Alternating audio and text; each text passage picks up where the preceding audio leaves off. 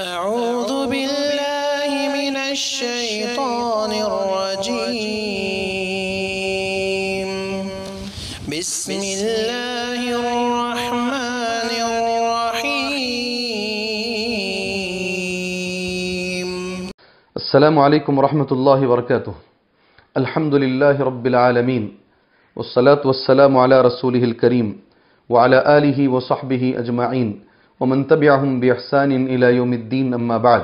أعوذ بالله السميع العليم من الشيطان الرجيم. من همزه ونفخه ونفثه بسم الله الرحمن الرحيم.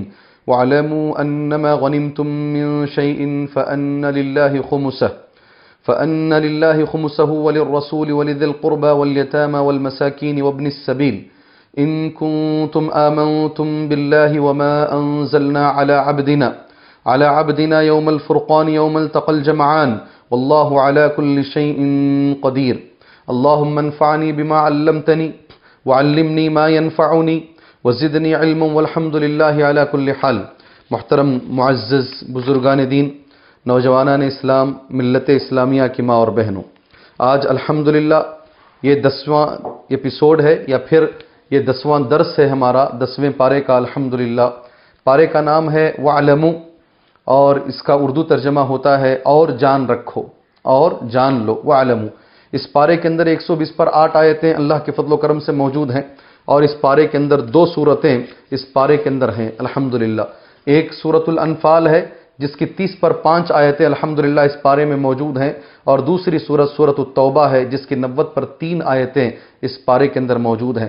کل ملا کر ایک سو بیس پر آٹھ آیتیں سبحان اللہ اس ایک پارے میں، دسویں پارے کے اندر الحمدللہ موجود ہیں۔ میں نے آپ کے سامنے پارے کا نام کہا ہے اور اس کا اردو ترجمہ کہا ہے۔ پوری آیتیں میں نے کہی ہیں، دو صورتیں پارے کا حصہ ہے، یہ بھی میں نے آپ کے سامنے کہا ہے۔ اس کے بعد چلیے سرسری طور پر اس پارے کے اندر کیا کیا مضامین بتائے گئے ہیں، کیا کیا ٹاپکس آج کے پارے کے اندر موجود ہیں۔ سب سے پہلا جو ٹاپک ہے وَعْلَمُوا أَنَّمَا غَنِمْتُم مِّن شَيْءٍ۔ اس کے اندر اللہ تبارک و تعالیٰ نے مال غنیمت جو دشمن سے جو مال حاصل ہوتا ہے، اس کی کتنی قسمیں ہیں، اور اس مال کو کیسے بانٹا جائے گا، کس کو کتنا دیا جائے گا، اور بالخصوص اس کے اندر اللہ کے رسول صلی اللہ علیہ وسلم کو اس مال میں سے کتنا حصہ دیا جائے گا۔ اور یہ مال اللہ کے رسول صلی اللہ علیہ وسلم کہاں خرچ کیا کرتے تھے، اس چیز کو الحمدللہ پہلے ٹاپک کے طور پر پارہ نمبر دس میں بتایا گیا ہے۔ پھر اس کے بعد آج کے پارے میں تین جنگوں کا تذکرہ ہے۔ ایک یوم الفرقان کے نام سے جنگ بدر کا تذکرہ کیا گیا ہے۔ پھر یوم حنین کے نام سے جنگ حنین کا تذکرہ کیا گیا ہے۔ پھر اسی طریقے سے جنگ تبوک کا تذکرہ آیت نمبر تیس پر آٹھ سورہ توبہ سے لے کر تقریباً تقریباً بائیس آیتیں، تقریباً تقریباً بائیس، پچاس پر نو نمبر کی آیت تک، سبحان اللہ۔ پچاس پر نو نمبر کی آیت تک جنگ تبوک کا اس کے بعد بھی اس کا ذکر آئے گا۔ اور بھی آیتیں ہیں، جنگ تبوک کا تذکرہ کیا گیا ہے۔ یہ تین جنگوں کے تذکرے کے ساتھ ساتھ آج کے پارے کے اندر اللہ تبارک و تعالیٰ نے ہمیں یہ بتا دیا ہے، آداب جنگ کیا ہوتے ہیں؟ جنگ لڑنے کے آداب کیا ہوتے ہیں؟ مسلمانوں کے پاس، دین اسلام کے اندر، شریعت محمدیہ کے اندر، جنگ کرنے کے آداب کیا ہیں؟ پارہ نمبر دس کے اندر اس کو بیان کیا گیا ہے۔ پھر اسی طریقے سے ایک اور مضمون بتایا گیا ہے۔ مسلمان ساٹھ پر پانچ نمبر کی آیت ہے۔ سورہ سورت الانفال کی آیت ہے۔ مسلمانوں کو مضبوط ہونا چاہیے۔ مسلمانوں کو جسمانی اعتبار سے مضبوط ہونا چاہیے۔ کتنا مضبوط ہونا چاہیے؟ قرآن مجید میں اللہ تبارک و تعالیٰ نے فرمایا ہے یکم منکم عشرون صابرون یغلبوا مئتین. سبحان اللہ۔ اگر بیس مسلمان ہیں، تو دو سو پر غالب آئیں۔ بیس مسلمان ہیں تو دو سو پر غالب یعنی ایک مسلمان دس کے برابر ہونا چاہیے۔ یہ مسلمان کی جسمانی قوت کو بتایا گیا ہے۔ پھر خود اللہ تبارک و تعالیٰ نے کہا، الان خفف اللہ عنکم۔ اب اللہ تبارک و تعالیٰ نے تمہارے ساتھ تخفیف کر دیا ہے۔ ابھی یہ ہونا چاہیے، ایک مسلمان کم سے کم دو کے برابر ہونا چاہیے۔ اس کی جسم کی طاقت ایسی ہو، جسمانی طور پر وہ اپنے آپ کو ایسا رکھے کہ وہ ایک دو کے برابر ہونا چاہیے۔ اس مضمون کو آج بڑی اہمیت کے ساتھ، جنگوں کے تذکرے کے ساتھ کیا گیا ہے۔ پھر اسی طریقے سے بدر کے قیدی جو آئے ہیں، سبحان اللہ، بدر کے قیدیوں کے تعلق سے ایک آیت کریمہ آج بتائی گئی ہے۔ آیت نمبر ساٹھ پر سات اور آیت نمبر ساٹھ پر آٹھ اور آیت نمبر ساٹھ پر نو۔ یہ جو تین آیتیں ہیں بدر کے قیدیوں کے تعلق سے ہیں۔ جو قیدی آئے تھے، ان کے بارے میں نبی کریم صلی اللہ علیہ وسلم نے جو فیصلہ لیا اور اس کے لیے آپ نے دو بڑے صحابہ اکرام سے مشورہ کیا، حضرت ابو بکر سے آپ نے مشورہ کیا، حضرت عمر سے آپ نے مشورہ کیا۔ یہاں پر ایک بہت بڑا لفظ میں آپ کو کہنے جا رہا ہوں۔ قرآن مجید کی آیتیں حضرت عمر کی موافقت میں نازل ہوئی موافقت عمر میں۔ قرآن مجید میں تین جگہ پر آیتیں اتاری گئی ہیں سبحان اللہ اس میں سے پارہ نمبر دس میں دو دو آیتیں موجود ہیں۔ دو آیتیں پارہ نمبر دس میں ایسی موجود ہیں جو حضرت عمر کی موافقت میں الحمدللہ اللہ تبارک و تعالیٰ نے اتاری ہے۔ اللہ اکبر۔ پھر شروع ہوتی ہے وہ بہت بڑی صورت جس میں احکامات کی بھرمار ہے۔ احکامات کی بھرمار ہے جسے سورہ توبہ کہتے ہیں۔ اس کی نوت پر تین آیتیں یعنی زیادہ تر آیتیں اس کی سورہ توبہ کی پارہ نمبر دس میں پیش کر دی گئی ہیں۔ واحد صورت ہے قرآن مجید کی، جس کے شروع میں بسم اللہ الرحمن الرحیم نہیں لکھا جاتا ہے۔ کیوں نہیں لکھا جاتا ہے؟ مختصر تفسیر میں میں انشاءاللہ اس کا تذکرہ آپ بھائیوں کے سامنے کروں گا۔ یہی وہ صورت کریمہ ہے، آیت نمبر سترہ۔ اور آیت نمبر اٹھارہ، اسی صورت کے اندر اللہ تبارک و تعالیٰ نے جو انسان مسجد بناتا ہے، اس کی فضیلت کیا ہے، اس کی اہمیت کیا ہے، اس کو کتنا ثواب اللہ تبارک و تعالیٰ دے گا، اللہ تبارک و تعالیٰ نے ان دونوں آیتوں میں اللہ نے بیان فرمایا ان لفظوں کے ساتھ۔ ماکان علی المشرکین ان یعمروا مساجد اللہ شاہدین علی انفسهم بالکفر پھر اس کے بعد کی جو آیت کریمہ ہے انما یعمروا مساجد اللہ من آمن باللہ والیوم الاخر مختصر تفسیر میں اس کی تفسیر میں کروں گا۔ پھر اسی طریقے سے آیت نمبر چوبیس جو ہے سورہ توبہ کی۔ اس میں اللہ تبارک و تعالیٰ نے یہ بیان فرمایا ہے، محبوب ترین چیز کون سی ہے تمہارے پاس؟ نام لے کر اللہ تبارک و تعالیٰ نے کہا۔ نام لے کر اللہ تبارک و تعالیٰ نے کہا، یہ زیادہ تم اس کو چاہتے ہو یا پھر تمہاری محبت اللہ تبارک و تعالیٰ سے زیادہ ہے اور اللہ کے رسول سے زیادہ ہے؟ محبت کا معیار کیا ہونا چاہیے؟ سبحان اللہ، چوبیسویں نمبر کی آیت ہے، سورہ توبہ کی آیت ہے۔ قل، ان كان اباؤكم وابناؤكم واخوانكم وازواجكم وعشيرتكم واموال اقترفتموها وتجاره تخشون كسادها ومساكن ترضونها احب اليكم من الله ورسوله وجهاد في سبيله فتربصوا حتى ياتي الله بامره والله لا يهدي القوم الفاسقين بہت بہترین آیت کریمہ ہے۔ آدمی ان سے محبت کرتا ہے، انسان مسلمان اس سے محبت کرتا ہے۔ اللہ نے سوال کر کے جواب دیا ہے، محبت کس سے ہونی چاہیے؟ مختصر تفسیر میں اس کی تفسیر ہوگی۔ پھر جیسے میں نے کہا آیت نمبر پچیس میں، جنگ ہنین کا تذکرہ کیا گیا ہے۔ پھر اسی طریقے سے آیت نمبر تیس پر ایک میں ایک بہت بڑا مضمون بیان کیا گیا ہے۔ مضمون یہ ہے نصارہ یہودی اور نصارہ اپنے علماء کو رب بنا لیتے ہیں۔ اللہ نے قرآن میں کہا ہے۔ اتخذوا احبارهم ورهبانهم اربابا من دون الله والمسيح ابن مریم اور اس کا معنی کیا ہے؟ علماء کو رب بنانے کا معنی کیا ہے؟ سمجھ رہے ہیں آپ میری بات کو؟ علماء کو رب بنانے کا معنی کیا ہے؟ سمجھیے اس بات کو۔ قرآن مجید کی پارہ نمبر دس کی سورت التوبہ کی آیت نمبر تیس پر ایک ہے۔ اللہ نے کہا ہے، پھر اسی طریقے سے اس کے بعد آیت نمبر تیس پر چار میں اللہ تبارک و تعالیٰ نے سونے اور چاندی کے احکامات بیان کیے۔ سبحان اللہ۔ سونے اور چاندی کو لوگ جمع کرتے ہیں۔ اس کی زکوٰۃ ادا نہیں کرتے ہیں، ان کو کیا سزا دی جائے گی؟ سبحان اللہ۔ ان کو کیا سزا دی جائے گی؟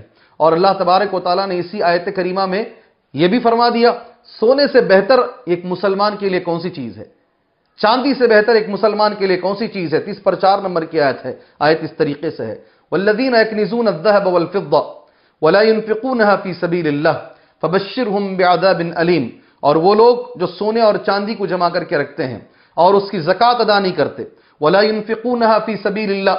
اللہ کے راستے میں اسے خرچ نہیں کرتے۔ فبشرهم بعذاب علیم انہیں دردناک عذاب کی خوشخبری سنا دیجیے۔ کیا ہوگا عذاب؟ اور کتنا ہے سبحان اللہ؟ مختصر تفسیر میں آپ کے سامنے میں کہوں گا۔ پھر مہینوں کی تعداد، سبحان اللہ۔ مہینوں کی تعداد ہمارے پاس بارہ ہے، اس میں سے چار مہینے ہمارے پاس حرمت والے ہیں۔ پارہ نمبر دس ہی کے اندر کہا گیا ہے۔ پھر جیسے میں نے کہا، جنگ تبوک کا تذکرہ کیا گیا ہے۔ انشاءاللہ تبارک و تعالیٰ یہ تذکرہ گیارہویں پارے کے اندر بھی آ رہا ہے۔ اس کی قدر تفسیر میں انشاءاللہ تعالیٰ گیارہویں پارے میں کروں گا۔ آیت نمبر ساٹھ صورت التوبہ میں ایک بہت اہم آیت ہے۔ جس کا تعلق مسلمان کی زندگی سے بڑا گہرا ہے۔ اور بالخصوص کہوں گا میں، بالخصوص ماہ مبارک، رمضان المبارک کے مہینے میں اکثر لوگ سوال کرتے ہیں، ان سبھی بھائیوں کے حوالے میں آیت کریمہ کرنا چاہوں گا۔ آیت نمبر ساٹھ، سورہ توبہ، زکوٰۃ کا مال دینے کے مستحق کون ہیں؟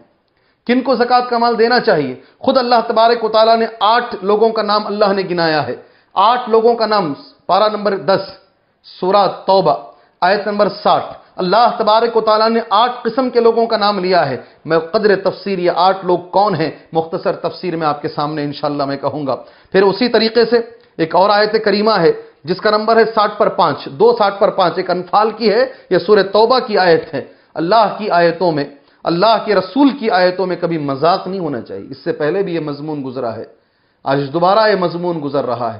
اللہ اور اس کے رسول کی آیتوں میں مذاق نہیں نہیں گزرنا چاہیے۔ میں بول دوں آپ کے سامنے، کچھ لوگ قرآن مجید کی آیتوں کو عجیب طریقے سے پڑھ کے دکھاتے ہیں۔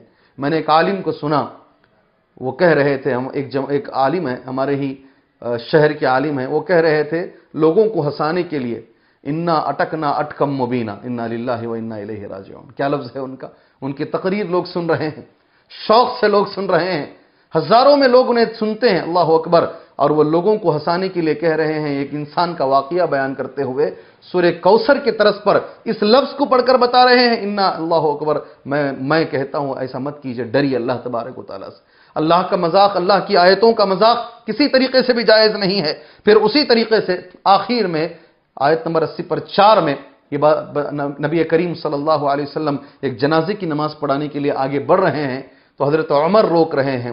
اللہ تبارک و تعالیٰ نے وہاں بھی آیت نازل فرمائی اور عمر کے مطابق اللہ تبارک و تعالیٰ نے آیت اتاری۔ کہا، ولا تسلی علی احد منہم مات ابدا ولا تقم علی قبری معزز دوستوں، بزرگوں، یہ کچھ پارے کا نام تھا۔ پارے میں پائی جانے والی آیتیں تھیں اور پائی جانے والی دو اہم صورتیں تھیں اور مختصر ٹاپکس اور مختصر مضامین جو اس پارے کے اندر الحمدللہ بیان کیے گئے ہیں، وہ میں نے آپ کے سامنے کہا۔ چلیے، کچھ اہم باتیں۔ جو پارے کے اندر موجود ہیں، اس لیے کہ ہر آیت کی مختصر تفسیر بھی ممکن نہیں ہے۔ ایک گھنٹے کے وقت کے اندر ساری آیتوں کی مختصر تفسیر ہم نہیں کہہ سکتے آپ کے سامنے۔ کچھ اہم اہم چیزوں کی مختصر تفسیر آپ بھائیوں کے سامنے انشاءاللہ بولیں گے۔ سب سے پہلے میں شروع کرنا چاہتا ہوں پہلی آیت، جو پارے کا نام بھی ہے۔ اور مال غنیمت کے بارے میں الحمدللہ یہ آیت کریمہ بیان کی گئی ہے۔ اس آیت سے ہم اپنی بات کو انشاءاللہ تبارک و تعالی شروع کرتے ہیں۔ آیت یہ ہے وَعْلَمُوا أَنَّمَا غَنِمْتُم مِّن شَيْءٍ۔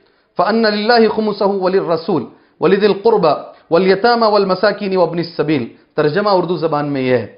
جان لو سبحان اللہ انما غنیمتم من شیئن، جو بھی مال غنیمت تمہیں ملتا ہے، فَأَنَّ لِلَّهِ خُمُسَهُ، اس کا پانچواں حصہ سبحان اللہ اللہ کا ہے۔ ولی اللہ کے رسول کا ہے۔ ولی دل اور رشتہ داروں کا ہے۔ ولیتامہ یتیموں کا ہے۔ والمساکین، مسکینوں کا ہے۔ وابن السبیل اور مسافروں کا ہے۔ سبحان اللہ مسافروں کا ہے۔ ان کن تم آمن تم باللہ، اگر تمہارا ایمان ہے اللہ کی ذات پر، اور اس چیز پر ایمان ہے جو ہم نے اتارا ہے ہمارے بندے پر فرقان والے دن یعنی جنگ بدر والے دن، یوم التقل جمعان، واللہ علی کل شین قدیر، اور اللہ تبارک و تعالی ہر چیز پر قدرت رکھنے والا ہے۔ آیت میں نے پڑھ لی آپ کے سامنے، ترجمہ میں نے آپ کے سامنے کر دیا سبحان اللہ اب چلیے، احسن البیان میں مفسر نے کیا، اس کی کیا تفسیر بیان کی ہے۔ سب سے پہلے یہاں سے ہم اپنی بات کو شروع کرتے ہیں۔ جو بھی مال غنیمت آتا تھا نبی کریم صلی اللہ علیہ وسلم کے زمانے میں، پہلی بات ہم یہ ذہن میں اپنے رکھیں، مال غنیمت کے تعلق سے مال غنیمت گزشتہ امتوں کے لیے حلال نہیں تھا۔ مال غنیمت اس امت محمدیہ کے لیے اللہ تبارک و تعالیٰ نے حلال کیا ہے۔ خود اللہ کے نبی صلی اللہ علیہ وسلم نے فرمایا، مجھے پانچ چیزیں دی گئی ہیں جو پہلے کسی نبی کو نہیں دی گئی۔ ان میں سے ایک چیز جو نبی کریم صلی اللہ علیہ وسلم نے فرمایا، وہ احلت لی الغنائم۔ اللہ تبارک و تعالیٰ نے غنیمت کا مال میرے لیے حلال کیا۔ سبحان اللہ۔ مال غنیمت کے تعلق سے ایک اور چیز ہم لوگ اپنے ذہن کے اندر رکھیں۔ سبحان اللہ، وہ چیز حدیث ہے، اس طریقے سے اللہ کے رسول صلی اللہ علیہ وسلم فرماتے ہیں، مال غنیمت کے تعلق سے مال غنیمت کے جو تقسیم کریں گے، پانچ حصے کریں گے مال غنیمت کی سبحان اللہ، اور صحیح حدیث ہے، راوی حدیث اس حدیث کے سبحان اللہ ان رجل من بلقین۔ عبداللہ بن شقیق کہتے ہیں، ایک بلقین کے انسان سے، قال، اتیت رسول اللہ صلی اللہ علیہ وسلم۔ اس حدیث کو الحافظ نے امام امام الحافظ ابو بکر البیحقی رحمہ اللہ نے سند صحیح کے ساتھ اس حدیث کو بیان کیا ہے اور حدیث کو علماء حدیث نے صحیح قرار دیا ہے۔ مال غنیمت کے تعلق سے یہ حدیث بیان کی جاتی ہے عطیت رسول اللہ صلی اللہ علیہ وسلم، میں اللہ کے نبی کے پاس آیا۔ وہ بواد القرا، ایک جگہ کا نام وہاں موجود تھے۔ وہ یارد فرسن فقلت یا رسول اللہ، میں نے اللہ کے نبی سے سوال کیا، ما تقول فی الغنیمہ؟ اللہ کے رسول صلی اللہ علیہ وسلم، مال غنیمت کے بارے میں آپ کیا کہتے ہیں؟ فقال نبی کریم صلی اللہ علیہ وسلم نے فرمایا، للہ خمسوہا وہ اخماس للجیش۔ اس لفظ کو یاد رکھیے۔ چار حصے مال غنیمت کے کریں گے۔ چار، پانچ حصے پانچ حصے مال غنیمت کے کریں گے۔ چار حصے جو ہے، وہ جیش میں بانٹ دیے جائیں گے، لشکر میں بانٹ دیے جائیں گے۔ جو آتے ہیں جنگ میں، ان میں تقسیم کر دیے جائیں گے۔ ایک حصہ جو ہے اس کو بانٹا جائے گا اللہ کے لیے، اللہ کے رسول کے لیے۔ پھر جیسے میں نے کہا، رشتہ داروں کے لیے، یتیموں کے لیے مسکنوں کے لیے، مسافروں کے لیے ایک حصہ، پانچواں حصہ اتنے لوگوں کو بانٹا جائے گا، اس میں سے تھوڑا نبی کو بھی دیا جائے گا۔ اللہ اکبر۔ اس میں سے تھوڑا سا اللہ کے رسول صلی اللہ علیہ وسلم کو، خود نبی کریم صلی اللہ علیہ وسلم نے ایک حدیث مال غنیمت کے تعلق سے بیان فرمائی۔ محترم دوستو، مال غنیمت کے تعلق سے یہ حدیث آپ اپنے ذہنوں کے اندر رکھیں۔ ابن عباس رضی اللہ تعالیٰ عنہ کہتے ہیں لما کان یوم خیبر جب خیبر کا دن تھا، اقبل نفر من صحابت النبی صلی اللہ علیہ وسلم. کچھ لوگ نبی کریم صلی اللہ علیہ وسلم کے صحابہ آئے فقالو اور انہوں نے کہا فلان شہید فلان شہید فلاں صحابی شہید ہیں فلاں صحابی شہید ہیں حتی مروا علی رجل فقالو فلان شہید، یہاں تک کہ ایک آدمی پر سے گزرے، کہا، یہ فلاں آدمی شہید ہیں فقال رسول اللہ صلی اللہ علیہ وسلم، کلا اللہ کے رسول صلی اللہ علیہ وسلم نے فرمایا، ہرگز نہیں، ایسا مت بولو، انی رأیتہ فی النار فی بردت غلہ میں نے اس کو جہنم کے اندر دیکھا ہے، ابھی وہ میدان میدان جہاد میں پڑے ہوئے ہیں۔ مقتول ہیں۔ کہتے ہیں کہ میں نے اس کو جہنم میں دیکھا ہے، اس چادر کی وجہ سے جو مال غنیمت میں سے انہوں نے اٹھا لیا تھا بغیر بولے اللہ اکبر۔ مال غنیمت سے چیز اٹھا لینا بہت بڑی بات ہے۔ بہت بڑی بات ہے۔ اللہ کے رسول صلی اللہ علیہ وسلم نے یہاں تک کہا، اگر جانور کا کھر بھی ہے، جانور کا پیر کا تھوڑا سا حصہ بھی تمہیں مل رہا ہے، اسے بھی تم میرے سامنے لا کر کے رکھ دو، کسی کو اٹھانے کی پرمیشن نہیں ہے۔ یہ مال غنیمت کی تقسیم کے تعلق سے کچھ باتیں ہیں۔ اب آ جائیے۔ اللہ کے رسول صلی اللہ علیہ وسلم کو اس میں سے کتنا مال ملے گا؟ نبی کریم صلی اللہ علیہ وسلم کو اس مال غنیمت میں سے کتنا ملے گا؟ یہ بہت بڑی بات ہے۔ ان عمر بن عبسہ۔ عمر بن عبسہ اس حدیث کے راوی ہیں اور رسول اللہ صلی اللہ علیہ وسلم۔ اللہ کے رسول صلی اللہ علیہ وسلم سے یعنی ان رسول اللہ صلی اللہ علیہ وسلم، نبی کریم صلی اللہ علیہ وسلم کے بارے میں روایت کرتے ہیں۔ بے شک اللہ کے رسول صلی اللہ علیہ وسلم نے نماز پڑھی۔ اس حدیث میں ہے۔ آپ نے نماز پڑھی؟ فلما سلم اخذ وبرۃ من ذلك البعير۔ اور آپ نے جو نماز پڑھی، ایک اونٹ کو آپ نے مسلح بنا کر نماز پڑھا۔ اس کے بعد اللہ کے نبی صلی اللہ علیہ وسلم نے اس اونٹ کے ایک وبر کو اٹھایا، ایک بال کو اٹھایا، اس کے کچھ حصے کو اٹھایا۔ ثم قال، پھر اللہ کے نبی صلی اللہ علیہ وسلم نے فرمایا، ولا يحل لي من غنائكم مثل هذه۔ تمہارے مال غنیمت میں سے مجھے اتنا بھی حلال نہیں ہے۔ میرے لیے اتنا بھی حلال نہیں ہے۔ الخمس، پانچواں حصہ اللہ تبارک و تعالی نے میرے لیے حلال کیا ہے۔ والخمس مردود فیکم، اور یہ پانچواں حصہ بھی تمہارے ہی اندر میں بانٹ دیتا ہوں۔ اللہ اکبر۔ اللہ اکبر۔ سننے میں آپ کو میں نے قرآن کی آیت پڑھی، میں نے حدیث پڑھا تمہارے سامنے۔ دو تین احادیث میں نے آپ کے سامنے پڑھنے کی میں نے کوشش کی۔ سبحان اللہ۔ اب میں آپ کے سامنے اس سے نکلنے والی جو عبرت ہے، وہ عبرت میں آپ کے سامنے بیان کرنا چاہوں گا۔ معزز دوستوں اور بزرگوں میرے نبی کے سچے ہونے کے لیے یہ آیت بہت بڑی دلیل ہے۔ ہم ویسے ہی مانتے ہیں آمنا و صدقنا۔ آج کے زمانے میں ہم دیکھتے ہیں، ایک آدمی مر رہا ہے یہ کوئی پنڈت، کوئی سادھو مرتا ہے۔ ہزاروں کروڑ اس کی جائیداد چھوڑ کے مر رہا ہے۔ اللہ اکبر۔ ہزاروں کروڑ کی جائیداد چھوڑ کے مر رہا ہے۔ کسی ملک کا کوئی بادشاہ ہے، وہ سارے ملک سے نکلنے والے خزانوں پر اس نے اپنا رتبہ بنا رکھا ہے، اپنا قبضہ رکھا ہے۔ ایک میرے نبی ہیں صلی اللہ علیہ وسلم وہ کہتے ہیں اونٹ کے اندر جو چھوٹا سا حصہ ہے، وہ بھی میرے لیے حلال نہیں ہے۔ میرے لیے میرا گھر چلانے کے لیے میرے اللہ نے مجھے جتنا حلال کیا ہے، میرے لیے اتنا ہی حلال ہے۔ اللہ اکبر اللہ اکبر۔ اور ایک نبی ہیں، صلی اللہ علیہ وسلم جب انتقال ہو رہا ہے، صحیح حدیث کے مطابق اما عائشہ فرماتی ہے رضی اللہ تعالیٰ عنہ، گھر میں چراغ میں ڈالنے کے لیے تیل موجود نہیں ہے۔ یہ امام الانبیاء ہیں یہ نبیوں کے نبیوں کے امام ہیں سبحان اللہ یہ چاہتے تو کیسی شاہانہ زندگی اللہ کے نبی گزار سکتے تھے۔ ایک نبی ہیں جو صحابہ سے کہتے ہیں سبحان اللہ جب تک مال غنیمت نہیں آیا تھا تو مسئلہ تھا۔ جو قرضدار مر جاتا، اس کی نماز کے بارے میں نبی نے کہا، میں نہیں پڑھوں گا۔ صحابہ ذمہ داری لے لیا کرتے تھے۔ جب مال غنیمت آ گئے یہی مال غنیمت جس کا ذکر کیا جا رہا ہے اللہ کے نبی فرماتے ہیں صلی اللہ علیہ وسلم، میرے صحابہ میں جو بھی صحابی مال چھوڑ کے مریں گے، وہ ان کی اولاد میں تقسیم ہوگا، ان کے وارثین میں تقسیم ہوگا۔ جو بھی صحابی قرض چھوڑ کے مریں گے، وہ محمد کے حوالے ہے، محمد صحابی کا قرض ادا کریں گے۔ اللہ اکبر۔ اللہ اکبر۔ اور یہی پیغمبر کہتے ہیں صلی اللہ علیہ وسلم، ہم انبیاء علیہ السلام کی جو جماعت ہے ہم جو بھی پراپرٹی چھوڑ کے جاتے ہیں، وہ ہمارے بچوں کو نہیں ملتی ہے، وہ صدقہ کر دیا جاتا ہے۔ اللہ اکبر۔ نبی کریم صلی اللہ علیہ وسلم کی کوئی پراپرٹی اللہ کے نبی کے بچوں کو نہیں دی گئی۔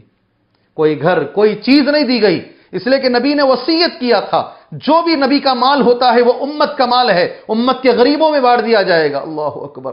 وہ پیغمبر علیہ السلاۃ والسلام، ذرا کمپیئر کر کے دیکھیے۔ ذرا ملا کر کے دیکھیے۔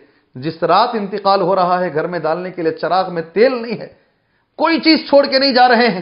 اتنی سادہ زندگی گزار کر ایک پیغام جو اللہ تبارک و تعالیٰ کا ہے، توحید کا پیغام، اس پیغام کو دنیا کے حوالے کر کے گئے۔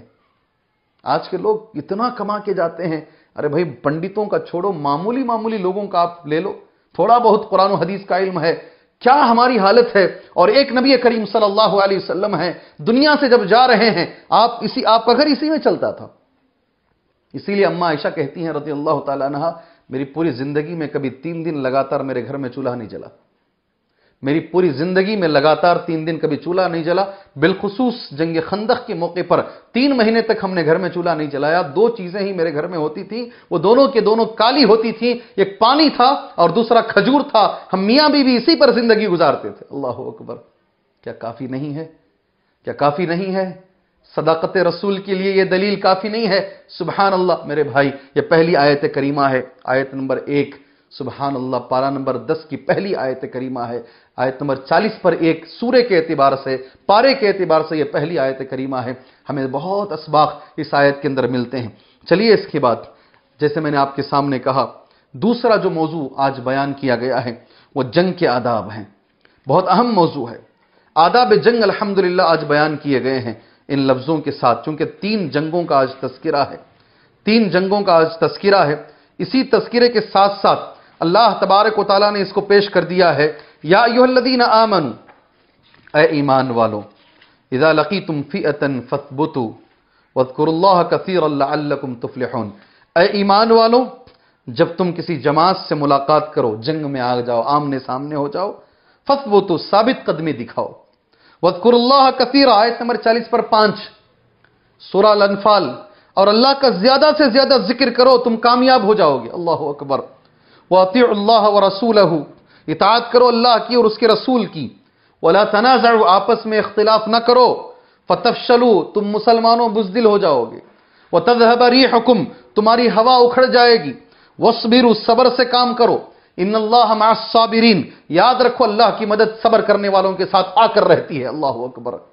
آیت نمبر چالیس پر پانچ، آیت نمبر چالیس پر چھ۔ آداب جنگ ان آیتوں میں بتائے گئے ہیں۔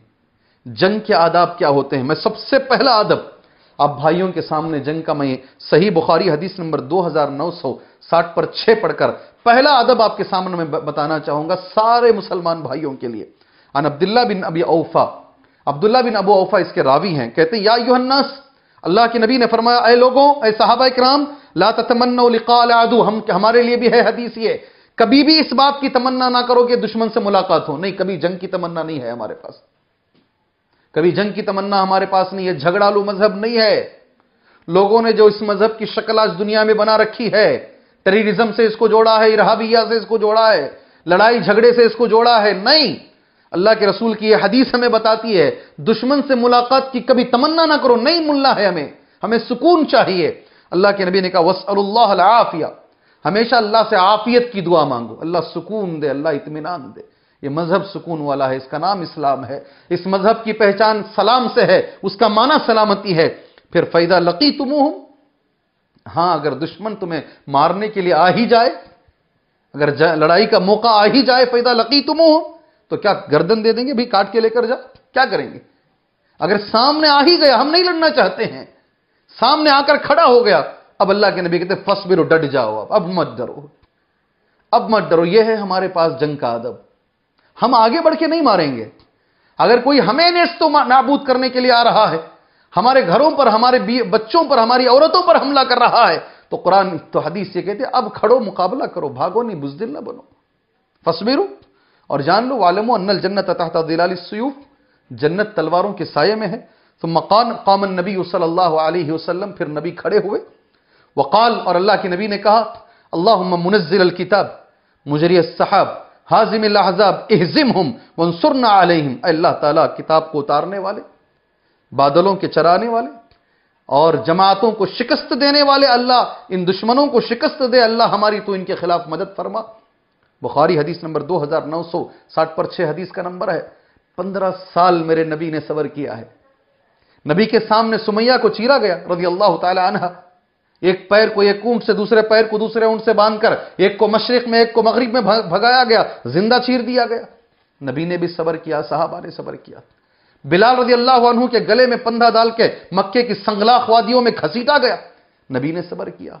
یاسر اور عمار ان دونوں کے ساتھ یہ سلوک گرم گرم لوہے کا لباس پہنا دیا گیا۔ نبی نے کہا، صبرن یا آل یاسر، کتنے سال صبر؟ کتنے سال صبر؟ پندرہ سال۔ تیرہ سال مکے کے اور دو سال مدینے کے۔ پندرہ سال کے بعد پہلی آیت اللہ نے قرآن میں اتاری، تم پہ ظلم کیا گیا، تمہیں مارا گیا۔ اذن للذین یقاتلون بانہم ظلموا۔ اب پرمیشن دی گئی ہے تمہیں لڑنے کی، اس لیے کہ تم اب تک ظلم سہے ہو۔ اللہ اکبر۔ اللہ اکبر۔ یہ ہے ہمارے پاس۔ ہم آگے بڑھ کر نہیں، کہاں ہے ہماری تاریخ؟ ساری دنیا کی تاریخ میں ایک ہی جماعت ہے جس نے بیت المقدس کو فتح کیا اور خون کا ایک خطرہ بھی نہیں بہا۔ سبحان اللہ۔ ایک خطرہ خون بھی نہیں بہا۔ ابو بیدہ بن جراح سے ان پادریوں نے کہا، ہماری کتابوں میں لکھا ہوا ہے، ایک آدمی آئے گا، اس کو فتح کرے گا۔ اس کی یہ علامت ہے، ابو بیدہ بن جرہ گئے، انہوں نے دیکھا، کہا، نہیں، یہ ہماری کتابوں میں تمہاری شکل نہیں ہے، تمہارے کپڑے نہیں ہیں، وہ علامتیں نہیں ہیں۔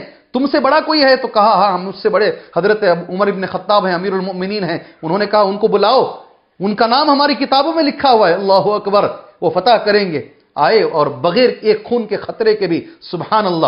ایک خون کے خطرے کے بغیر بیت المقدس فتح ہوا۔ عمر ابن خطاب رضی اللہ تعالیٰ عنہ جب کھڑے ہوئے تھے، جہاں پر ان کا مقدس مقام تھا، عیسائیوں کا بیت المقدس میں، نماز کا وقت ہو گیا۔ پادری نے خود کہا، نماز پڑھ لیجیے۔ عمر نے کہا، اگر میں آج تمہاری جگہ پہ نماز پڑھوں گا، تو آنے والے ہر آدمی اس کے بعد اسے مسجد بنا لیں گے۔ میں تمہاری جگہ، تمہارے حوالے کرتا ہوں۔ یہ تمہاری جگہ ہے۔ تم اپنے پاس رکھو۔ باہر گئے۔ اور وہاں اپنے نماز پڑھی۔ آج بھی الحمدللہ وہاں مسجد عمر موجود ہے۔ سبحان اللہ یہ ہمارا دین ہے۔ یہ ہمارا دین ہے۔ ہم نے خون نہیں بہایا۔ یہ دین دنیا میں امن کے لیے آیا ہے۔ یہ پہلا ادب ہے۔ دوسرا ادب میں گناتا ہوں آپ کے سامنے انگلیوں میں، آداب جنگ۔ فثبتو ثابت قدم ثابت قدم، قدمی کے ساتھ رہو، بھاگو نہیں۔ تیسرا وذکر اللہ یاد رکھو، اللہ کا ذکر کے ساتھ اللہ نے کامیابی کو جوڑا ہے اس آیت میں۔ وذکر اللہ کثیر لعلکم تفلحون۔ اگر تمہیں کامیاب ہونا ہے تو اللہ کا ذکر زیادہ کرو۔ سبحان اللہ چوتھا ادب، معاف کر لو۔ وہ عطی اللہ و رسول ہر وقت زندگی میں اللہ اور اس کے رسول کی تاز ضروری ہے۔ اور بالخصوص میدان جنگ میں تو بدرج اولا ہے۔ پانچواں ادب، ولا تنازع کیا بڑی بات اللہ نے کہی سبحان اللہ کب ہم سوچیں گے، کب مسلمان جاگے گا۔ اللہ اکبر اللہ اکبر۔ کب مسلمان کو یہ بات سمجھ میں آئے گی۔ کہا، لڑو نہیں مسلمانوں آپس میں۔ آپس میں لڑو نہیں، آپس میں اختلاف نہیں کرو۔ مسلکی اختلافات، فروعی اختلافات جاری رہیں گے۔ قیامت تک رہیں گے، نہیں مٹیں گے یہ۔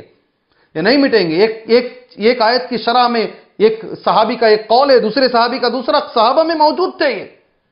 ان اختلافات کے باوجود متحد رہو مسلمانوں، متحد رہو۔ اگر تم اتحاد نہیں رکھو گے، آپس میں لڑتے رہو گے، قرآن کہتا ہے، تم بزدل ہو جاؤ گے، ڈر ڈر کے جیو گے، ڈر ڈر کے جیو گے۔ یہ مار دے گا، وہ مار دے گا، بزدل، ساری قوم بزدل ہو جائے گی۔ قرآن کہتا ہے، سبحان اللہ وہ تزہبری حکم اور قرآن کا لفظ ہے یہ تمہاری ہوا اکھڑ جائے گی۔ دنیا میں مسلمانوں کی کوئی عزت نہیں ہوگی، پوچھنے والا نہیں ہوگا۔ ہر کوئی اپنے مطلب کے لیے استعمال کرے گا مسلمانوں کو۔ قرآن کا لفظ ہے حکم وسبرو ڈٹ کے رہو۔ سبحان اللہ سبحان اللہ یہ ادب ہے، چھٹواں ادب، صبر کے ساتھ رہو۔ ساتواں ادب ہے، بہت اہم چیز یہ بتائی گئی ہے۔ میں سارے مسلمان بھائیوں کو متنبع کر کے کہنا چاہوں گا۔ ولا تکونوا کلذین خرجوا من دیارہم بطرا۔ غرور سے بچو، طاقت کے غرور سے بچو مسلمانوں۔ کبھی بھی غرور مت کرو۔ کبھی بھی غرور مت کرو سبحان اللہ ساتواں۔ آٹھواں ادب ہے وَأَعِدُّ لَهُمْ مَسْتَطَعْتُم مِّن قُوَّةٍ۔ برابر تیاری کرتے رہو، تیاری کرتے رہو۔ سبحان اللہ تیاری میں کیا کیا چیزیں آتی ہیں؟ کسی اور وقت میں انشاءاللہ تبارک و تعالی اب بھائیوں کے سامنے میں بیان کروں گا۔ ان ادبوں میں سے ایک ادب بہت بڑا ادب ہے، جسے جو ہمارے مذہب کی پہچان ہے۔ اس کو بتایا گیا ہے، جنگ کے ادب میں سے ایک ادب یہ ہے، یہ حدیث میں ہے، سبحان اللہ۔ عورت پہ ہاتھ نہیں اٹھانا، بچے پہ ہاتھ نہیں اٹھانا، بوڑھے پہ ہاتھ نہیں اٹھانا۔ جو نہیں لڑنا چاہتا ہے، نہیں، مجھے لڑنا نہیں ہے، واپس جانا چاہتا ہے، اسے نہیں مارنا۔ اللہ اکبر، ہمارے اندر یہ آداب ہیں۔ یہاں تک اگر میدان جنگ میں، اس لیے کہ میدان ہوتا ہے، جنگ کا میدان کبھی کبھی کوئی آدمی آرمی کا بھولے بھٹکے سے اس طرف آ جاتا ہے۔ لڑتے لڑتے سمجھ میں نہیں آتا باؤنڈری پار کر دیتا ہے۔ اور وہ اگر ہاتھ اٹھا کے کہہ دے بھائی میں ادھر آ چکا ہوں، مجھے پناہ دے دو۔ کس کو پناہ دینا ہے؟ دشمن کے آرمی کے آدمی کو مجھے پناہ دے دو۔ وَإِنَحَدٌ مِّنَ الْمُشْرِكِينَ اسْتَجَارَكَ فَأَجِرْ۔ تو یہ بتایا گیا کہ اسے واپس لے جا کر کے اس کی جگہ پہ چھوڑ کے آؤ۔ اللہ اکبر۔ کون سا دین ہے دنیا میں؟ کون سا مذہب مذہب ہے دنیا میں؟ ہماری آنکھوں نے دیکھا ہے۔ ہماری آنکھوں نے دیکھا ہے دنیا جسے اپنے آپ کو سپر پاور کہتا ہے دنیا کا۔ عراق کے اندر قیدیوں کے ساتھ کیا کیا اس نے؟ کپڑے نکال کر یہ قیدی کو دوسرے قیدی پہ ڈال دیا۔ کیا سلوکات قیدیوں کے ساتھ کیا جاتا ہے؟ سبحان اللہ، جنگ میں کیا سلوک کیا جاتا ہے؟ اللہ اکبر، میرے نبی تھے۔ قیدیوں کے بیڑیاں اگر ٹائٹ ہو جاتی، رات میں سوتے سوتے اٹھ کے جا کے ڈھیلے کر کے آتے۔ کہا، کہتے کہ کہیں اس کی بیڑیاں ٹائٹ تو نہیں ہو گئی ہیں؟ اللہ اکبر، یہ پارہ نمبر دس کے اندر یہ خلاصے میں بتایا گیا ہے۔ معزز دوستوں اور بزرگوں، اس کے بعد، آداب جنگ کے بعد ایک بہت بڑی آیت کریمہ ہے جیسے میں نے کہا، یہ بھی جنگ ہی سے تعلق رکھنے والی ہے، مگر اس کو الگ سے پیش کیا گیا ہے۔ میں اس کو آپ کے ذہنوں میں بٹھا کر بات آگے لے کر جانا مناسب سمجھتا ہوں۔ سکسٹی سیون، سکسٹی ایٹ اور سکسٹی نائن۔ تین آیتیں میں پڑھ رہا ہوں۔ اس میں اللہ تبارک و تعالیٰ نے موافقت عمر، حضرت عمر کے مطابق اللہ نے آیتیں اتاری۔ سبحان اللہ، پوری آیت پڑھ لی سن لیجیے۔ ما کان علی نبی گن ان یکون له اسرا حتى يثقن في الارض تريدون عرض الدنيا والله يريد الاخره والله عزيز حکیم کسی نبی کے لیے درست نہیں ہے کہ اس کے پاس قیدی ہوں حتى يثقن في الارض سبحان اللہ۔ اور وہ دنیا چاہتے ہوئے ان قیدیوں کو چھوڑ دے۔ واللہ یرید الاخرہ اللہ آخرت چاہتا ہے اور اللہ تبارک و تعالی عزیز ہے، حکیم ہے۔ غالب ہے اور حکمت والا ہے۔ سبحان اللہ، بڑے سخت انداز میں آیت اتری ہے۔ اس کی شرح میں پڑھتا ہوں۔ قول الامام احمد امام احمد بن حنبل رحمہ اللہ کہتے ہیں، حدثنا علی بن عاصم عن حمید عن انس. کتنی اچھی سند ہے۔ انس ابن مالک رضی اللہ تعالی عنہ سے روایت مشہور ہے، امام احمد بن حنبل نے اس کو پیش کیا ہے۔ استشار رسول اللہ صلی اللہ علیہ وسلم الناس فی الاسارہ یوم بدر۔ بدر والے دن اللہ کے رسول صلی اللہ علیہ وسلم نے مشورہ کیا صحابہ اکرام سے کہ بھئی ان قیدیوں کا کیا کرنا ہے۔ فقال، ان اللہ قد امکنکم منہم۔ خود اللہ کے نبی فرماتے ہیں صلی اللہ علیہ وسلم اللہ تعالیٰ نے آج تم کو ان پر اختیار دیا ہے کنٹرول دیا ہے۔ اور ایک حدیث میں یہ بھی آتا ہے، یہ کل تمہارے بھائی تھے۔ سبحان اللہ۔ فقام عمر بن الخطاب۔ اب عمر ابن خطاب کو مشورہ سنیے۔ یا رسول اللہ اللہ کے رسول صلی اللہ علیہ وسلم، اضرب آنا کہوں اللہ کے نبی سب کو مار۔ یہ آپ کو مارنے کے لیے آئے ہیں، ہمیں ختم کرنے کے لیے جنگ میں آئے ہیں۔ ان کو ان کو مار دیجیے اللہ کے نبی صلی اللہ علیہ وسلم۔ فاردان نبی صلی اللہ علیہ وسلم۔ اللہ کے نبی نے ان سے منہ پھیر لیا، چہرہ ایسا پھیر لیا۔ اس کو آپ نے چہرہ پھیر لیا۔ فقام عمر، پھر عمر رضی اللہ تعالیٰ عنہ نے دوبارہ کہا، یا رسول اللہ، اضرب آنا کہم فاردان نبی صلی اللہ علیہ وسلم۔ اللہ کے نبی نے چہرہ پھیر لیا۔ ثم عاد رسول اللہ صلی اللہ علیہ وسلم فقال للناس۔ پھر نبی کریم صلی اللہ علیہ وسلم نے پھر مشورہ طلب کیا بھئی کوئی اور بھی مشورہ دو۔ گردن مارنے کے سوا کوئی دوسری بھی چیز ہے تو دو تمہارے پاس۔ ابو بکر فقام، ابو بکر صدیق رضی اللہ عنہ۔ ابو بکر صدیق کھڑے ہوئے، فقال، یا رسول اللہ؟ کہا، اللہ کے رسول صلی اللہ علیہ وسلم نرا ان تعفو عنہم۔ میرا مشورہ یہ ہے کہ آپ ان کو معاف کر دیں۔ اللہ اکبر۔ وان تقبل منہم الفدا اور ان میں جو صاحب حیثیت ہیں، ان سے فدیہ لے لیں۔ فذهب عن وجه رسول اللہ صلی اللہ علیہ وسلم ما كان فيه من الغم۔ ایک غم تھا نبی کے چہرے پر۔ وہ دور ہو گیا اس کو سننے کے بعد۔ آپ نے انہیں معاف کر دیا اور ان میں سے کچھ لوگوں سے آپ نے فدیہ لے لیا۔ سبحان اللہ۔ بڑے نرم تھے نبی کریم صلی اللہ علیہ وسلم۔ بہت نرم تھے اللہ کے نبی صلی اللہ علیہ وسلم۔ اس حدیث کو امام مسلم رحمہ اللہ نے اور مسند احمد نے صحیح صنعت کے ساتھ اس کا کچھ حصہ امام مسلم رحمہ اللہ نے بھی بیان کیا ہے۔ یہاں پر اللہ نے آیت اتاری حضرت عمر کی موافقت میں۔ کہا کہ نہیں، ایسا نہیں ہونا چاہیے تھا۔ جو حضرت عمر نے مشورہ دیا اس کے مطابق ہونا چاہیے تھا۔ سبحان اللہ۔ یہ پہلی آیت کریمہ ہے موافقت عمر کے تعلق سے۔ اس سے ہمیں یہ معلوم ہوتا ہے حضرت عمر کی شخصیت کتنی بڑی ہے۔ حضرت عمر کو اللہ تعالیٰ نے کیا مقام دیا ہے؟ سبحان اللہ یہ پتا چلتا، اسی پارے کے اندر سورہ توبہ کی آیت نمبر اسی پر چار بھی ہے۔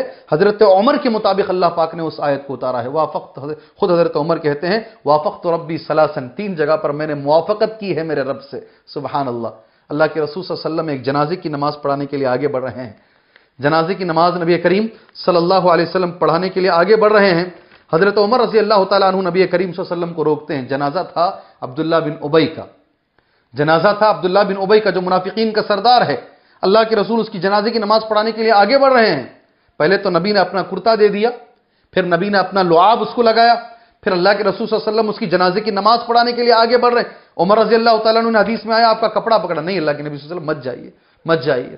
سبحان اللہ اللہ کے رسول صلی اللہ علیہ وسلم نے کہا، اے عمر یاد رکھو، اللہ نے قرآن میں کہا ہے، اگر تم اس کو ستر مرتبہ بھی اس کے لیے تم استغفار کرو گے معافی مانگو گے میں نہیں معاف کروں گا، میں اس کو ستر سے زیادہ معافی مانگتا ہوں تاکہ اللہ اسے معاف فرما دے۔ سبحان اللہ۔ کون ہے عبداللہ بن ابئی کون ہے عبداللہ بن ابئی کتنا ستایا ہے اس نے نبی کو؟ صلی اللہ علیہ وسلم، اللہ کی نبی کی بیوی حضرت عائشہ رضی اللہ تعالیٰ عنہ کے دامن کو داغدار کرنے کی اس نے کوشش کی۔ زنا کا الزام نبی کے گھر پہ اس نے ڈالا ہے۔ اللہ اکبر۔ نبی کی چہیتی بیوی کو سبحان اللہ اس نے زنا کا الزام ڈالا اور اللہ نے قرآن مجید میں اس کا جواب دیا سبحان اللہ یہ عبداللہ بن ابئی جو تین سو صحابہ، تین سو لوگوں کو لے کر جنگ وحد سے پیچھے ہٹ گیا، ہمیشہ لڑائیوں کو بھڑکایا کرتا تھا۔ یہ مرتا ہے، ان کے بیٹے مسلمان ہیں، وہ گزارش کرتے ہیں تو نبی اس کے لیے اپنا کرتا دے دیتے ہیں، سب بھلا دیتے ہیں۔ اس نے کیا کیا بیوی کے ساتھ؟ وہ بھی بھلا دیا۔ اس نے کیا کیا؟ سب بھلا کر اللہ کے رسول صلی اللہ علیہ وسلم جو ہے جنازے کی نماز پڑھانے کے لیے بھی آگے بڑھ جاتے ہیں۔ اللہ تعالیٰ یہ آیت اتارتا ہے اسی چار نمبر کی آیت۔ اس لیے کہ حضرت عمر کے بارے میں دونوں باتوں کو ملا لیجیے ولا تسلی ولا تقم علی قبری آپ اس کی جنازے کی نماز نہیں پڑھیں گے اللہ کے نبی صلی اللہ علیہ وسلم۔ اور اس کی قبر کے پاس کھڑے ہو کر آپ دعا بھی نہیں کریں گے۔ اللہ اکبر۔ اللہ اکبر۔ کتنی بڑی بات ہے۔ یہ دو آیتیں مختصر تفسیر میں حضرت عمر کی شخصیت کو بتاتی ہیں۔ ہمارے دین میں حضرت عمر کی شخصیت چھوٹی سی جھلک ہے یہ۔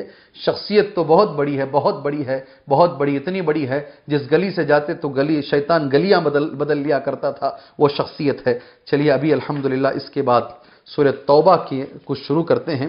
اور سورہ توبہ کے اندر الحمدللہ اس بات کو شروع کرتے ہیں، سورہ توبہ کے اندر الحمدللہ، کہ سورہ توبہ میں بسم اللہ کیوں نہیں پیش کیا گیا ہے؟ سورہ توبہ کے اندر بسم اللہ کیوں نہیں پیش کیا گیا ہے؟ کچھ باتیں میں آپ کے سامنے پڑھوں گا۔ یہ واحد صورت ہے قرآن مجید کی سورت التوبہ، جس کی نوت پر تین آیتیں پارہ نمبر دس میں موجود ہیں۔ اس کے اندر بسم اللہ نہیں پیش کیا، کیوں نہیں پیش کیا گیا ہے؟ بعض علماء اکرام یہ کہتے ہیں کہ اس سورت کا آغاز ہی جو ہوا ہے، وہ سختی کے ساتھ ہوا ہے۔ سیف کے حکامات بتائے، تلوار کے حکامات بیان کیے گئے ہیں۔ برات کے حکامات نہیں، آج سے تمہارا، ہمارا کوئی تعلق نہیں ہے۔ اے مشرقین برات اسی کو کہتے ہیں۔ سبحان اللہ، کوئی مکے میں نہیں رہے گا آج کے بعد۔ کوئی مشرق نہیں داخل ہوگا حدود حرم کے اندر۔ آج تک اس پر عمل ہو رہا ہے۔ سورہ توبہ کی آیت ہے وہ۔ کوئی نان مسلم ناٹ الاؤڈ جو ہم دیکھتے ہیں جدہ سے جاتے وقت، مدینے سے آتے وقت، الگ الگ جگہ سے آتے وقت، اسی آیت پر عمل ہے۔ چونکہ یہ سخت احکامات والی آیت ہے اور بسم اللہ الرحمن الرحیم کے اندر رحم رحم کی چیز ہے ان دونوں میں تضاد ہوگا، اس لیے نہیں پیش، بعض اہل علم کا یہ ماننا ہے۔ بعض اہل علم یہ کہتے ہیں، جو میرے سامنے ہے ابن کثیر رحم اللہ نے اس کو پیش کیا ہے، اور جمہور علماء یہی کہتے ہیں، سبحان اللہ۔ ابن عباس رضی اللہ تعالیٰ عنہما نے حضرت عثمان سے سوال کیا تھا کہ کیوں بسم اللہ نہیں ہے؟ سورہ توبہ کے شروع میں بسم اللہ کیوں نہیں ہے؟ حضرت ابن عباس نے حضرت عثمان سے پوچھا۔ اس لیے کہ حضرت عثمان کا جب نام آتا ہے، کئی چیزیں ہمارے ذہن میں آتی ہیں۔ ایک تو یہ کہ وہ داماد رسول تھے صلی اللہ علیہ وسلم، وہ ذنورائن تھے، سبحان اللہ، علیہ رضوان رضی اللہ عنہ، سبحان اللہ۔ وہ ذنورائن تھے، عثمان رضی اللہ عنہ، اور وہ مالدار تھے، کنواں خرید کر انہوں نے دیا۔ بیر عثمان ہمارے ذہن میں آتا ہے۔ وہی ایک اور چیز بھی آتی ہے حضرت عثمان کے تعلق سے کہ انہوں نے قرآن مجید کو جمع کیا۔ شرم و حیا بھی ان کے تعلق سے آتی ہے۔ قرآن مجید کو جمع کیا، جو آج ہمارے پاس قرآن مجید ہے، اس کو مصحف عثمانی ہی کہتے ہیں۔ مصحف عثمانی ہی کہتے ہیں۔ اسی لیے ابن عباس نے ان سے سوال کیا، حضرت عثمان رضی اللہ تعالیٰ عنہ سے، آپ نے بسم اللہ الرحمن الرحیم کیوں نہیں لکھا ہے؟ جواب سن لیجیے گا۔ دو سوالات تھے، میں صرف ایک سوال پڑھتا ہوں۔ سبحان اللہ۔ عثمان رضی اللہ تعالیٰ عنہ کہتے ہیں فقان ایزا، اللہ کن رسول اللہ صلی اللہ علیہ وسلم، اللہ کے رسول صلی اللہ علیہ وسلم، مما یأتی علیہ الزمان وهو تنزل عليه الصور ذوات العدد، فكان اذا نزل عليه الشيء، دعا بعض من كان يكتب. اللہ کے نبی صلی اللہ علیہ وسلم پر صلی اللہ علیہ وسلم پر جب کوئی آیتیں اترتی آپ کاتب وحی کو بلاتے جو وحی لکھنے والے کچھ صحابہ تھے۔ فیقول اللہ کے نبی کہتے دعو هذه في السوره التي يذكر فيها كذا وكذا. اس آیت کو اس صورت میں رکھو جہاں پر یہ یہ مضامین بیان کیے گئے ہیں۔ سبحان اللہ وكانت براء من آخری پہلے وكانت الانفال من اول ما نزل بالمدینہ جب مدینے کو آئے تو پہلی صورتوں میں سورہ انفال نازل ہوئی، ٹھیک ہے؟ وکانت برا من آخری مانوزل من القرآن، اور آخری صورتیں جو قرآن کی اتاری گئی اس میں سورہ برا ہے، سورہ توبہ بھی ہے۔ یہ پہلے دس سال کا گیپ ہے بیچ میں، کتنا؟ قریب قریب دس سال کا گیپ ہے۔ دونوں کا مضمون ایک ہے۔ حضرت حضرت عثمان خود کہتے ہیں، دونوں کا مضمون ایک ہے۔ دونوں میں جو باتیں بتائی گئی ہیں وہ ایک ہے۔ سبحان اللہ، اور اللہ کے نبی صلی اللہ علیہ وسلم نے ہمیں نہیں بتایا کہ یہ دونوں الگ الگ صورتیں ہیں یا ایک ہی صورت ہے۔ اسی لیے ہم نے صورت تو الگ کر دی، اس کے بیچ میں ہم نے بسم اللہ نہیں لکھا۔ ایسا کہتے ہیں حضرت عثمان رضی اللہ عنہ، اس کو امام احمد بن حنبل نے، اس کو امام ابو داود نے، اس کو نسعی نے، اس کو ابن حبان نے اپنے صحیح میں، اس کو مستدرک حاکم کے اندر اتنے لوگوں نے اس کو بیان کیا ہے۔ بعض اہل علم نے اس پر اعتراض بھی کیا ہے، سبحان اللہ، میں وہ اعتراض نہیں کہوں گا۔ تیسری چیز ابن عثیمین رحم اللہ کہتے ہیں، یہ توقیفی ہے۔ اللہ کی طرف سے ہر صورت کے شروع میں بسم اللہ اتارا گیا۔ اللہ کی طرف سے سورہ توبہ کے شروع میں نہیں اتارا گیا، اس لیے اس میں نہیں لکھا گیا۔ اللہ اکبر، یہ بہت آسان بھی ہے اور اس میں ہمارا عقیدہ بھی درست رہتا ہے۔ ہر صورت کے شروع میں اللہ نے بسم اللہ بسم اللہ کے ساتھ اللہ نے صورت اتاری، سورہ توبہ کو اللہ نے بغیر بسم اللہ کے اتاری، اس لیے صحابہ نے اس کو بغیر بسم اللہ کے رکھا ہے۔ اللہ اکبر۔ یہ بات سب سے زیادہ اچھی لگتی ہے سورہ توبہ کے تعلق سے۔ اس اس صورت کے اندر جیسے میں نے آپ بھائیوں کے سامنے کہا، سترویں نمبر کی جو آیت ہے سورہ توبہ کی، وہ مساجد کی تعمیر کے تعلق سے ہے۔ مسجد کو تعمیر کرنے والا جو آدمی ہے، اللہ تبارک و تعالیٰ اسے کیا ثواب دے گا؟ آئندہ بھی انشاءاللہ تبارک و تعالیٰ مساجد کے بارے میں آیتیں آنے والی ہیں۔ میں اس اس وقت انشاءاللہ اس کا تذکرہ کروں گا۔ آیت نمبر چوبیس میں نے بڑی اہمیت کے ساتھ اس آیت کو سرسری عناوین میں آپ بھائیوں کے سامنے گنایا ہے۔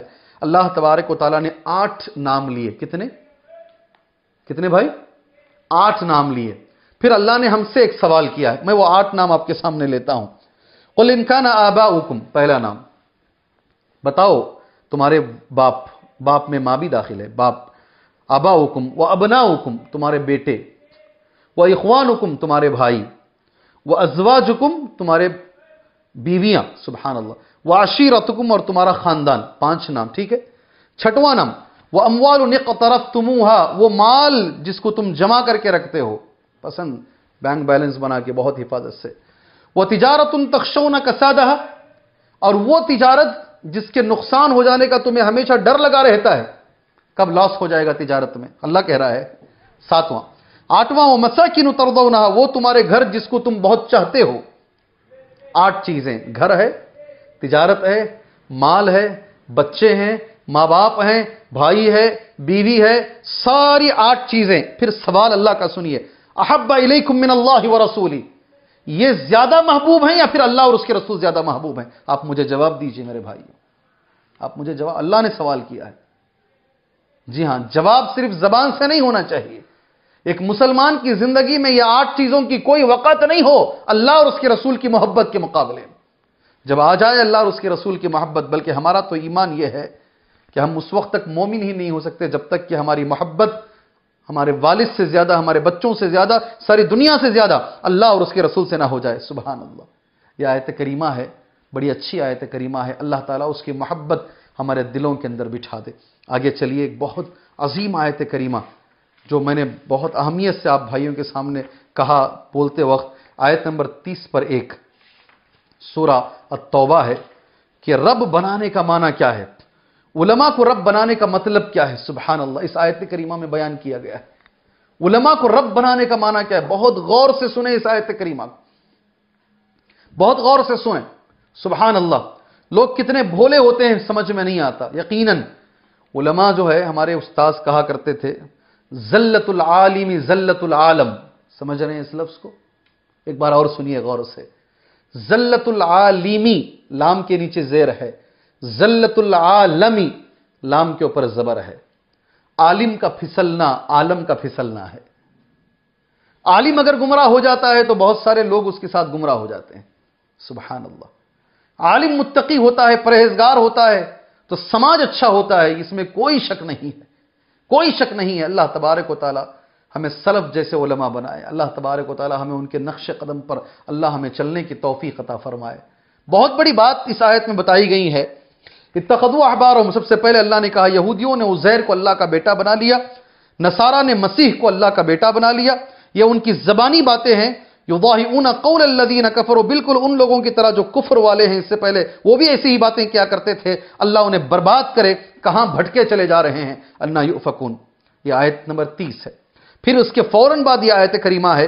اتخذوا احبارہم ورہبانہم اربابا من دون اللہ۔ انہوں، ان لوگوں نے اپنے اپنے علماء کو، سبحان اللہ اپنے بڑے بڑے عابدوں کو اور اپنے عالموں کو انہوں نے اللہ کو چھوڑ کر رب بنا لیا اور مسیح ابن مریم کو انہوں نے رب بنا لیا۔ حالانکہ انہیں حکم دیا گیا تھا کہ وہ ایک اللہ کی عبادت کریں، جس کے سوا کوئی معبود نہیں ہے، جس کی ذات پاک ہے ان کے شریک سے۔ یہ آیت کریمہ آپ نے سن لی؟ میں نے ترجمہ بھی الحمدللہ آیت کا کر دیا، تھرٹی تھرٹی ون۔ اب ذرا چلیے، اس میں کیا کوئی انسان عالم کو رب بناتا ہے؟ کیا کوئی انسان اپنے عالم کو، اپنے مسجد کے امام کو یا جسے وہ عالم سمجھتا ہے فین فالوئنگ کا زمانہ چل رہا ہے۔ فین فالوئنگ کا زمانہ چل رہا ہے۔ ہمارے مولوی صاحب کبھی جھوٹ نہیں بولتے۔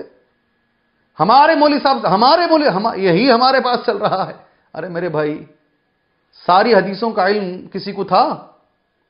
عمر رضی اللہ تعالیٰ عنہ کو ایک صحابی آ کر سلام کرتے ہیں۔ حضرت عمر نے کہ ایک صحابی سے کہا، کل میرے گھر پر آؤ۔ تین بار گئے، سلام کیا، نہیں کھولے، چلے آئے۔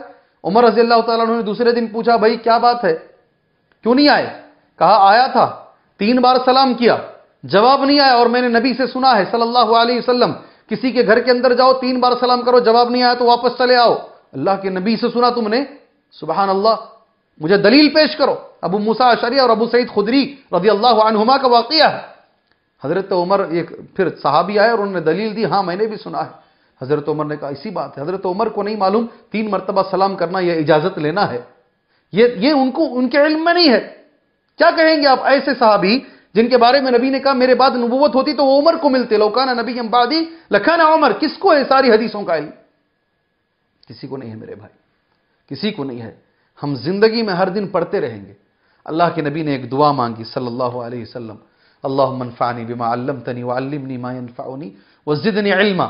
اللہ، میرا علم زیادہ کر، نبی کو ضرورت ہے زیادہ کرنے کی۔ مجھے اور آپ کو نہیں ہے؟ علماء کو نہیں ہے؟ ضروری ہے۔ مطلب سمجھ لیجیے، عالم کو رب بنانے کا معنی کیا ہے؟ سبحان اللہ۔ پوری حدیث بہت اچھی سی حدیث ہے، آپ کے سامنے میں پڑھتا ہوں۔ راوی حدیث ہے عدی ابن ابی عدی بن حاتم۔ راوی حدیث کون ہے؟ عدی بن حاتم۔ حاتم تائی مشہور ہے، مشہور زمانہ۔ حاتم تائی کے بیٹے عدی بن حاتم رضی اللہ عنہ۔ وہ کہتے انہو بلغت دعوت رسول اللہ صلی اللہ علیہ وسلم، فرہ من الى الشام۔ ان کے پاس اللہ کی نبی کی دعوت آئی، ایک پیغمبر آئے ہوئے ہیں، ان کی یہ دعوت ہے، تو وہ نفرت کرتے تھے۔ وہ نکل کر اور اپنے اپنے علاقے کے بادشاہ تھے بہت بڑے آدمی تھے۔ وہ چلے گئے ملک شام۔ نہیں، اس کی ان کی بات نہیں مانوں گا میں۔ وقت ترسر فی الجاہلیہ۔ اور عیسائی ہو گئے۔ فاثرت اختہ وہ جماعت من قومی ہی تو لڑائیاں ہوتی رہی مسلمانوں کے ساتھ۔ ان کی بہن اور ایک جماعت حضرت عدی بن حاتم کی کہ قوم کی ایک جماعت اور ان کی بہن یہ اسیر بن کر، غلام بن کر اللہ کے نبی کے پاس آ گئی۔ ثم من رسول اللہ صلی اللہ علیہ وسلم علی اختہ وعطاها، فرجعت الى پھر اللہ کے نبی نے احسان کیا اور اللہ کے نبی نے آزاد کر دیا۔ اور بہت سارے عطیے بھی دیے۔ فرجات علاقیہ پھر وہ آزاد ہو کر وہ اپنے بھائی کے پاس گئی فرغیبت فی الاسلام۔ اور انہوں نے اللہ کے نبی کو دیکھا تھا، آپ کے اخلاق کو دیکھا تھا۔ سبحان اللہ، انہوں نے جا کر ادی بن حاتم سے کہا، جاؤ ملو نبی کریم صلی اللہ علیہ وسلم سے۔ بہت اچھے انسان ہیں، بہت اچھے پیغمبر ہیں۔ اور وہ چاہتی تھی کہ عدی مسلمان ہو جائے۔ فقدیم ادی المدینہ، حضرت عدی مدینے کو آئے، یہ سب ہونے کے بعد۔ وہ کانا فی قومی ہی طے۔ طے قوم کے وہ رئیس تھے۔ وہ ابو حاتم الطائی المشہور بالکرم۔ ابن کثیر کہتے ہیں، سبحان اللہ، یہ پوری حدیث چل رہی ہے۔ اور ان کے والد مشہور تھے سخاوت میں۔ فتحدث الناس بقدومه ہی اس لیے کہ بہت مشہور نبی کے زمانے میں مشہور تھے حاتم تائی۔ لوگوں نے فوراً جیسے مدینے میں وہ آئے، لوگوں نے کہا، حاتم کے بیٹے آئے ہیں، عدی ابن حاتم آئے ہیں۔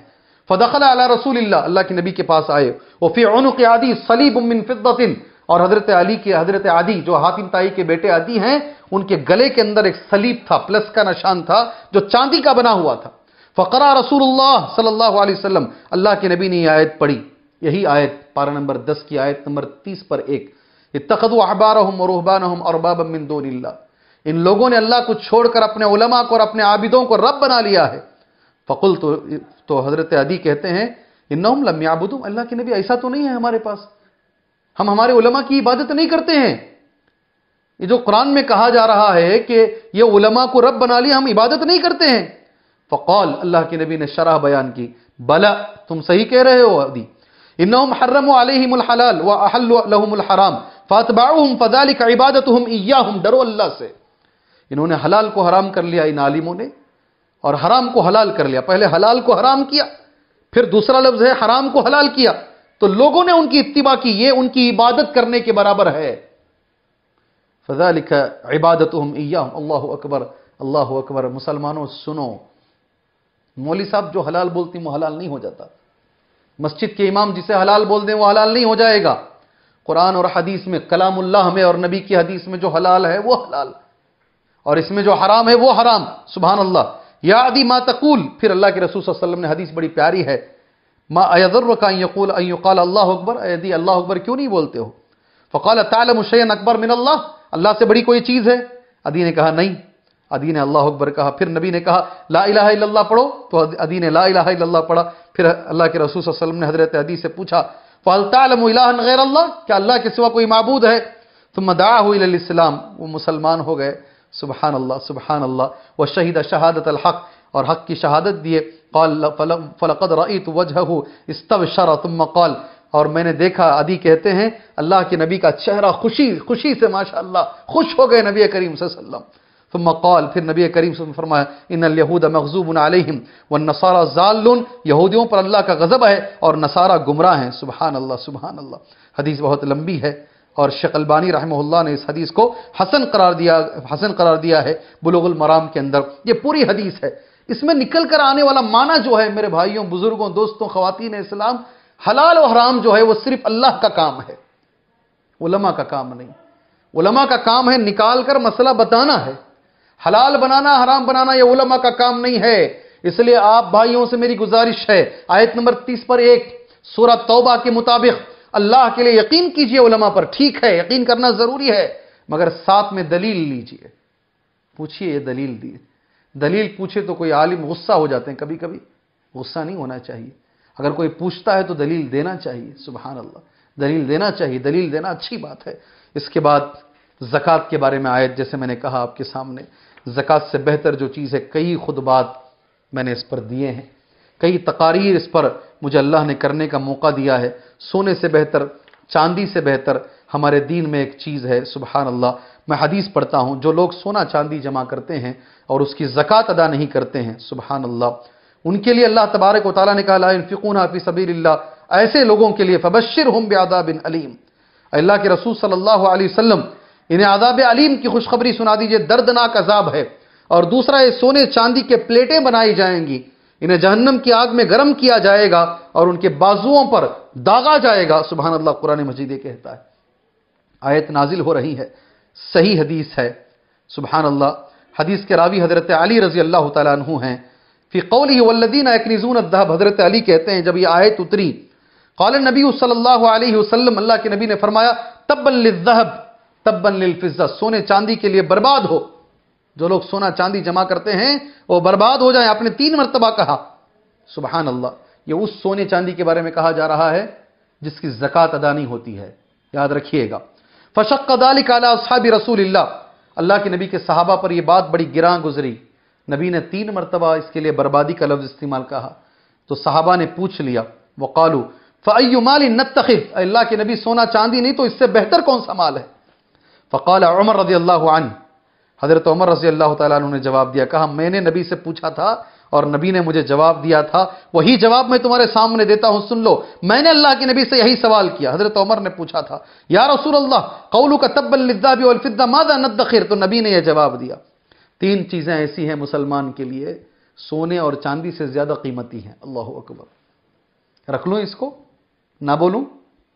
سونے چاندی سے زیادہ قیمتی تین چیزیں نبی فرماتے ہیں لسان ذاکرن، ہمیشہ ذکر کرنے والی زبان اگر کسی مسلمان کو نصیب ہو گئی، سونے چاندی سے بہتر ہے قلبن شاکرن، جتنا ملا اللہ تیرا شکر ہے، شکریہ کرنے والا دل مل گیا دوسری چیز، اور تیسری چیز، ایسی بیوی مل گئی جس کے ملنے کے بعد آدمی سدھر جائے، آدمی دیندار ہو جائے۔ وہ زوجتن تعین تعین واحدکم علی دینی ایسی بیوی ملے جو آدمی کو اس کے دین پر مدد فرمائے، سبحان اللہ۔ بیوی شادی ہونے سے پہلے، بے نمازی شادی ہونے کے بعد، نمازی ہو گیا، اللہ اکبر۔ شادی ہونے سے پہلے قبر پرست، شادی ہونے کے بعد توحید والا ہو گیا۔ یہ بیوی کے بارے میں قرآن کہتا ہے، حدیث کہتی ہے، سونے چاندی سے بہتر ہے، اللہ اکبر۔ کتنی بڑی بات ہے۔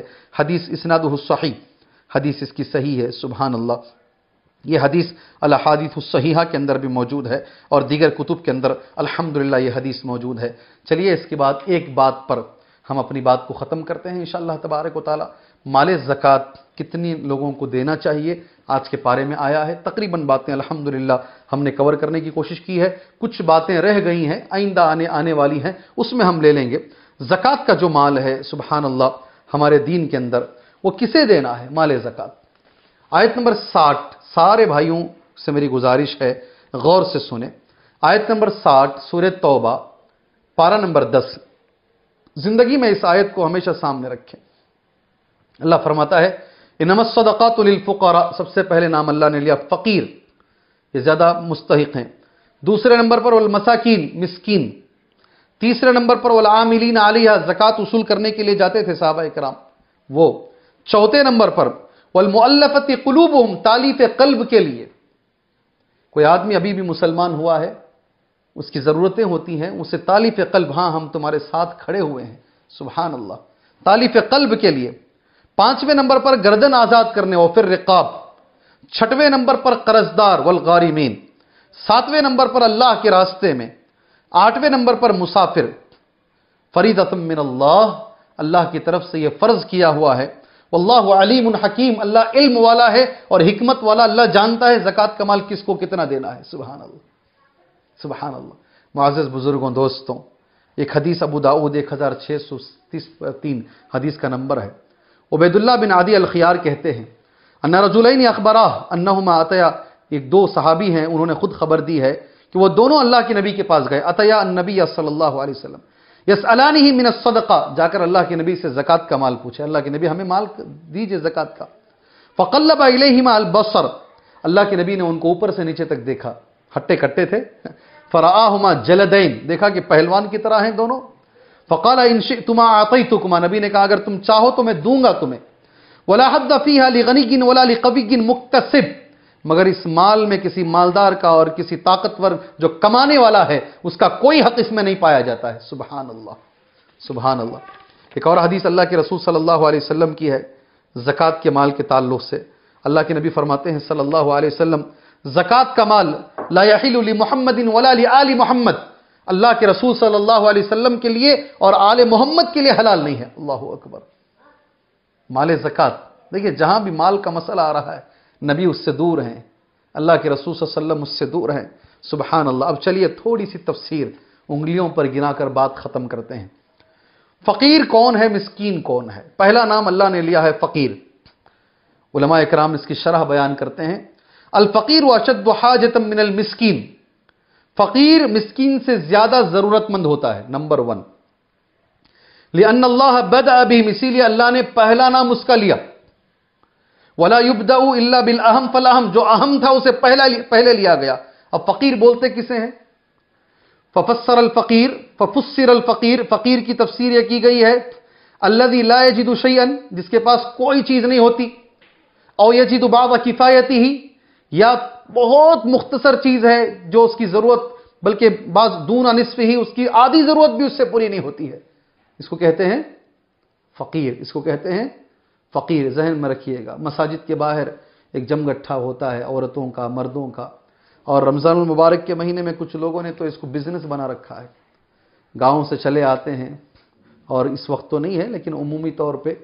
اور اس کو لوگوں نے بھیک مانگنے کو ایک دھندا بنا رکھا ہے۔ دھندا بنا رکھا ہے، حرام ہے ہمارے دین کے اندر۔ حرام ہے، اگر مجبور نہیں ہے تو نہیں مانگنا چاہیے۔ نبی نے فرمایا، قیامت کے روز ایسے سارے لوگ جو پیسہ جمع کرنے کے لیے بھیک مانگتے ہیں، سبحان اللہ، ان کے چہرے کے اوپر گوشت کا ٹکڑا بھی نہیں ہوگا، صرف ہڈی ہوگی۔ کہیں گے ہاں یہ آدمی تھا جو لوگوں سے بھیک مانگتا تھا پیسہ جمع کرنے کے۔ بچوں کو ڈاکٹر، انجینئر بنایا، بھیک مانگ مانگ کر، سبحان اللہ، پیسہ جمع کرنے کے لیے۔ ٹھیک ہے، پڑھائیے گا، پڑھائی سے میں انکار نہیں کرتا ہوں۔ مگر اس کو دھندا مت بنائیے۔ بھیک مانگنے کو دھندا، یہ پہلا۔ دوسرا، المسکین، مسکین کس کو بولتے ہیں؟ الذي يجد نصفها او اکثر ولا يجد تمام کفایہ۔ مسکین اس کو کہتے ہیں، کماتا ہے، مگر اس کی کمائی اتنی نہیں ہوتی کہ اس کی جائز ضرورتیں پوری ہو سکے ٹھیک ہے، سمجھ رہے ہیں؟ جیسے قرآن مجید نے سورہ کہف میں لیا، وہ امت سفینت لمساکین، جس کشتی پر موسا اور خضر بیٹھے تھے علیہ السلاۃ والسلام کہا وہ کشتی مسکینوں کی تھی یعنی ایک مسکین، ایک بوٹ کا مالک ہو سکتا ہے، کشتی کا مالک ہو سکتا ہے۔ ایک کار اس کے پاس ہو سکتی ہے، ایک آٹو اس کے پاس ہو سکتی ہے، مگر اس کی جو حلال کمائی ہے، اس کی جائز ضرورتیں مکمل نہیں ہوتی۔ دو، تیسرا، العاملون علیہ زکوٰۃ اصول کرنے کے لیے جو لوگ جاتے ہیں، الحمدللہ اس میں بہت ساری حدیثیں ہیں۔ نبی کے زمانے میں یہ کام ہوتا تھا۔ عمر بھی گئے ہیں، فضل بن عباس بھی بڑے بڑے صحابہ اس کام کے لیے گئے ہوئے ہیں۔ اس میں سے کچھ اٹھا کر ان کو دیا جا سکتا ہے زکوٰۃ کے مال سے جو اصول کرنے کے لیے جاتے ہیں۔ سبحان اللہ۔